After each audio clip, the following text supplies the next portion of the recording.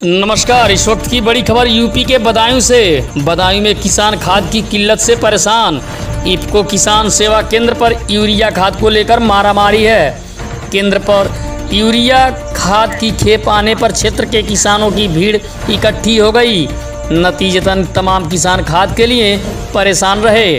किसानों को यूरिया खाद ना मिलने से वे परेशान नज़र आए।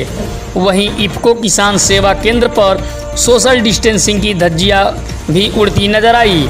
जिला बदायूं के तहसील बिसौली में इफको किसान सेवा केंद्र पर काफ़ी किसानों को खाद न मिलने से वे नाराज़ हैं और उन्होंने इसी को लेकर हंगामा भी काटा। गोदाम स्टाफ पर ब्लैक करने के आरोप भी लगाए। इफ्को किसान सेवा केंद्र ये भूल ही गया कि इस समय कोरोना तेज़ी से अपने पैर पसार रहा है। और हमें सरकार की गाइडलाइन का किसानों को पालन कराना चाहिए।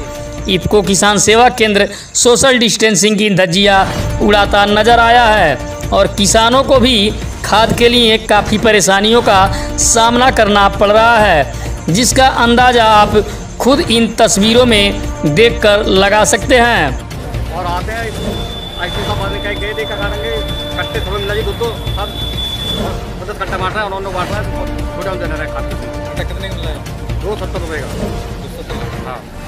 अब कब से आ रहे हैं? तीन दिन हो गए। तीन दिन हो रहे हैं? हाँ। ये समय ये लोगों को दस दस कट्टे दे रहे हैं। हाँ दस दस देते हैं। और फिर कहीं कहेगा सात सात दस दस। ज़्यादा पंद्रह पंद्रह कट्टा तो देते लोगों को।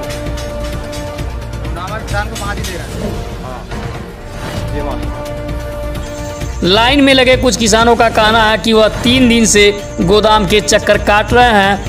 पर हम लोगों को आज तक खाद नसीब नहीं हुआ। कुछ किसानों ने कतारबद्ध होकर धक्का मुक्की शुरू कर दी, जिसको लेकर पुलिस बल का सहारा लेना पड़ा। खाद नहीं मिलने से किसानों ने जमकर हंगामा काटा। केंद्र कर्मचारी व अधिकारियों पर खाद की ब्लैक करने के आरोप भी लगाए। देर शाम तक खाद नहीं मिलने से नाराज़ किसान हंगामा काटते रहे। इसके बाद भी बहुत सारे किसान खाद न मिलने से मायूस होकर वापस घरों को लौट गए। इफ्को किसान सेवा केंद्र पर तैनात अधिकारियों ने सभी किसानों को यूरिया खाद मुहैया कराने का भरोसा दिलाया तो कहीं जाकर किसान शांत हुए।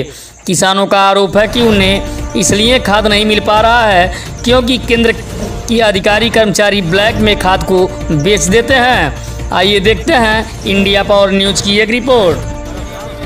क्या समस्या आ रही है? खाद लेने में हाथ मिलिए ना रहा है? चक्कर लगा रहे हैं। दो दो तीन तीन दिन हो गए चक्कर लगा। कितने दिन हो गए आपको?